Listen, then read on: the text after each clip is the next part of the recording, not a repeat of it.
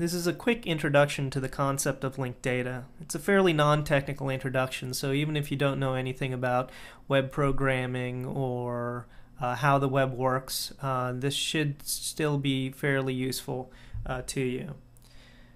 So you may have heard about linked data recently in the news because Google uh, and Facebook are starting to uh, push it out into their products. Um, so the first question, I guess, is what is linked data? Right? What is it used for, uh, and how do we uh, produce it? Now, if we go back and we think about data by itself, right? There are many different types of data that we use uh, today. Uh, there are images, there are things like Excel spreadsheets, uh, there are videos of uh, a variety of different things happening all over the world.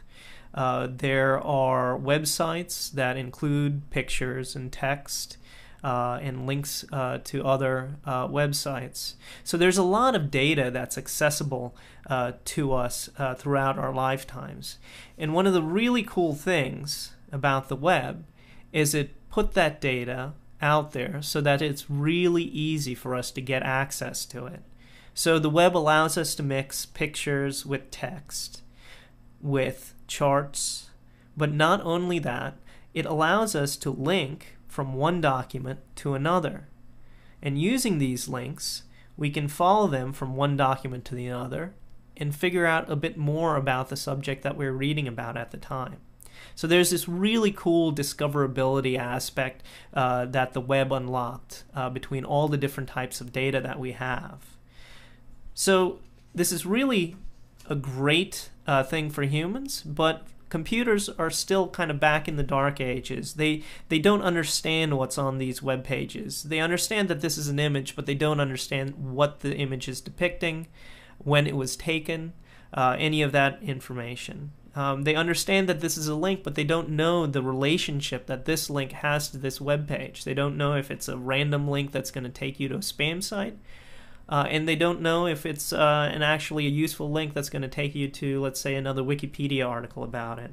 So the big problem that computers have with data today is that they don't understand it, truly understand it, in the way that humans understand uh, the the same information on a web page.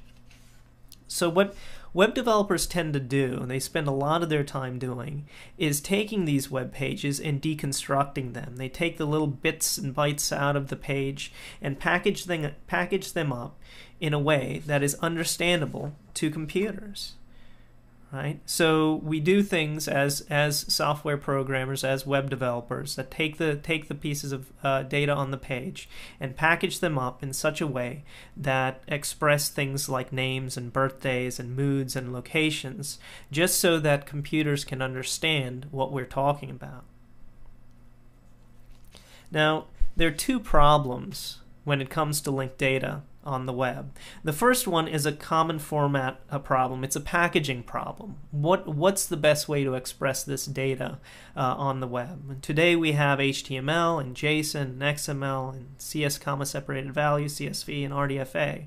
So there are a variety of different ways of expressing data on the web. And then the other problem is how do we link all of this data together? Right? What do we use to link these pieces of disparate information together on the web such that machines can understand it?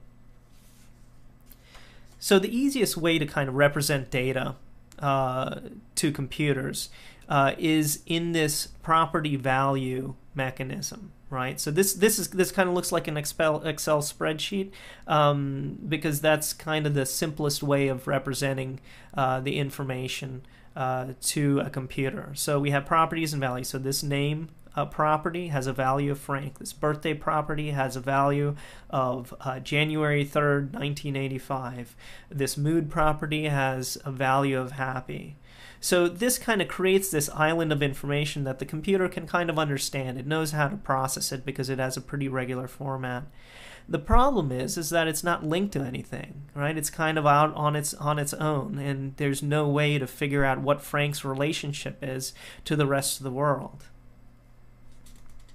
So that's where linking comes in, right? If you think back to a, a, website, websites have links to other websites.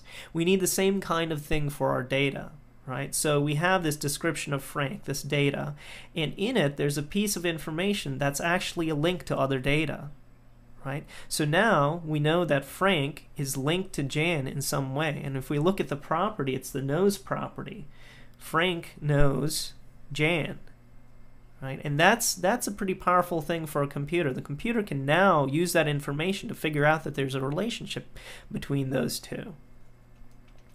Another way of representing this information is not necessarily an Excel spreadsheet, but this uh, kind of structure called a graph. Now, Google has their knowledge graph, and Facebook has their open graph, but at the most fundamental level, they're the same thing. It's a graph of information where each node is kind of a subject, something that you're talking about. So, like Frank or Jan or Tim. And each subject has information hanging off of it. And each each subject can also be related to one another. So Frank is linked to Jan and Jan is linked to Tim. The way Frank is linked to Jan is through a, a knows relationship, and the way Jan is linked to Tim is through a parent relationship. Right? So if you were to ask a computer who is Jan's parent, it would go and find Jan, and it would follow the parent relationship and say Jan's parent is Tim. Right? And that's how this, this graph of information gets built. Now, this is all linked data, it's all linked together. And the really cool thing is that these green lines represent the borders of websites. So, this is one website, this is another website, and this is yet another website. So, linked data is data expressed on a website that can traverse via links to other websites. Right? And that means that the internet, or the web rather, becomes this global information repository where you can ask the internet and the, and the web basically questions like who is Jan's parent and it would be able to start on one website, follow the link to another website and answer the question for you. Now, we have this kind of cool thing on, on the web, this universal ID mechanism called a URL. And computers really like to be very specific when you're talking about things. So if we go back to this graph, computers are going to have a hard time with this information because we're not specific enough. We're not specific on which Frank we're talking about. We're not specific about which Jan uh, we're talking about, right? Or even the words and the terminology that we're use, using, right? So what we end up needing to do at least with computers, is we end up needing to use URLs to identify things. Now this works really well for, for us as well. So what, what, the, the main thing that you use to go to a website is a URL to the website. If you, if you want to share a link with a friend, you send them the URL and you know that when you send them that URL, it's a universal identifier and when they put it into their web browser, they're going to see the exact same thing that you're seeing. Right? So we want to use URLs for everything in linked data, basically. So to a computer, this is what linked data looks like, right? There's a URL, which is which identifies Frank. There's a URL that specifies a knows relationship, and there's another URL that specifies Jan.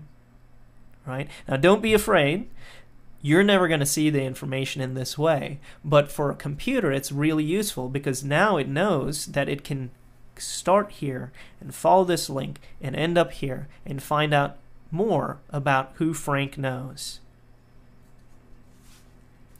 This is really how the global uh, knowledge graph gets built, right? Piece by piece. Every single website publishes their data, all the data links to one another, and uh, search engines and web crawlers can then use that information to answer interesting questions like who is the president of the United States, or uh, how many people live in Libya, or um, you know find find all of the the local offices that are up for reelection this year. So there there's a lot of information out there that's floating out there that's not in linked data form. And if we put it in linked data form uh, computers are going to be able to use it to make answering these questions uh, much easier Right? And two examples of that today is Google and their knowledge graph. Google, if you if you do searches in Google, they now utilize linked data to answer questions directly. You don't have to go to a website to figure out what the answer to the question is.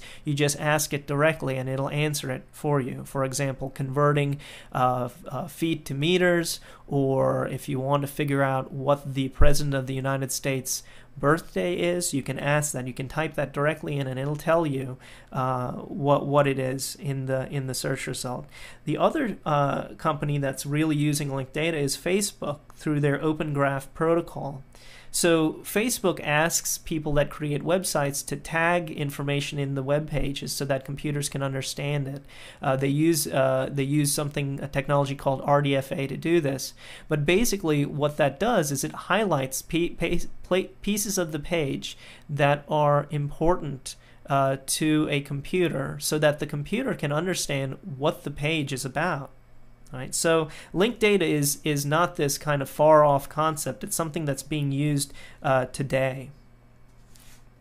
Now, if you want to find out more about uh, linked data, there are two websites that are pretty good that you can go to. The first one is json-ld.org. So this is a format for uh, linked data on the web. And the other one is rdfa.info. Both of these websites have resources for finding out a bit more about linked data and how it's used uh, and created on the web. This entire video is uh, released under a Creative Commons uh, Attribution Share Like license. That means that you can copy it uh, and share it with your friends and remix it uh, as much as you'd like without asking permission. If you have any questions on this tutorial, please uh, contact me. This is my Twitter handle, and I'm also on Google Plus uh, under Amanu Sporny. I hope you uh, enjoyed this uh, introduction to linked data, and uh, if you would like to, there are some follow-up um, tutorials on uh, JSON-LD and RDFA as well. All you need to do is search YouTube or Google, and they should pop up.